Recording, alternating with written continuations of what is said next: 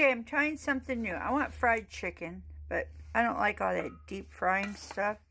So I had some chicken thighs. They're still frozen. So I cut them apart. They were going to break all apart for sure. But then I put in some seasoned salt, some dried onions, some flour, and some cornstarch. And it was just enough to coat them. And I'm just going to let them sit here until they're they're more um, thawed out. And I'm just going to keep adding more stuff to it. And we'll see what happens. And then I'm going to cook them in coconut oil. So now I got my chicken in the hot coconut oil and cooking. And both Mike and I both agreed that this seemed like a lot of oil. However, once you put the chicken in, it's looking pretty good. So I'm going to let it cook there, and then I'll flip it all over.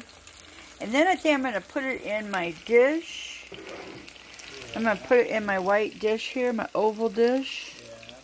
And put it in the oven. Put some Parmesan Reggiano cheese on top of it. Yeah. Yeah.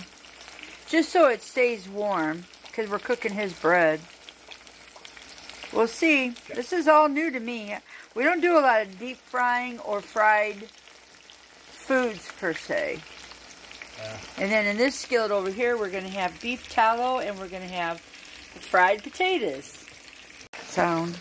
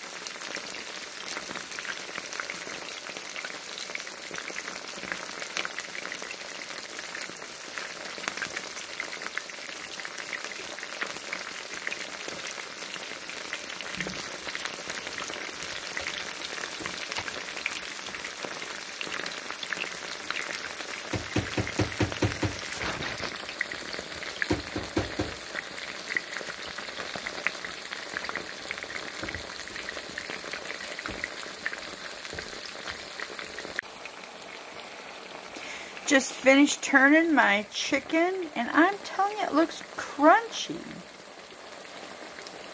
I might be onto something. I don't know. Won't know till I bite into it.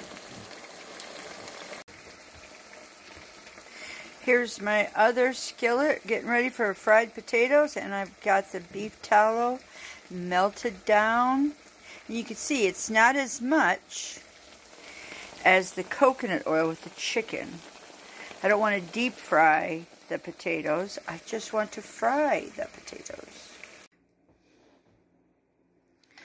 Okay, here's the end result. This is our bowl full of chicken thighs, and we're having like a little smorgasbord. We have our raw sauerkraut, a couple pickles, and our fried potatoes. Oh, can't hardly wait. Oh, and we I had made some more honey mustard, just in case.